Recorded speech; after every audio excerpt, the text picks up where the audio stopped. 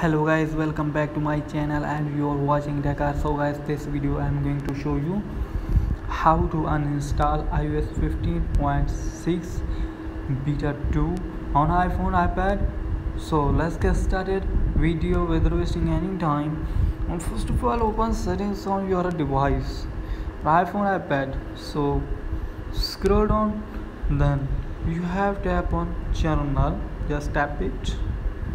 Then scroll down and tap where uh, VPN device management just tap it. So you have tap on configuration profile uh, tap it.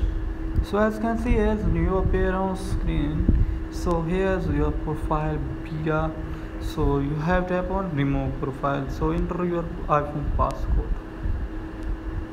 So here is asking cancel and remove. You have tap on remove so just you have tap on not now.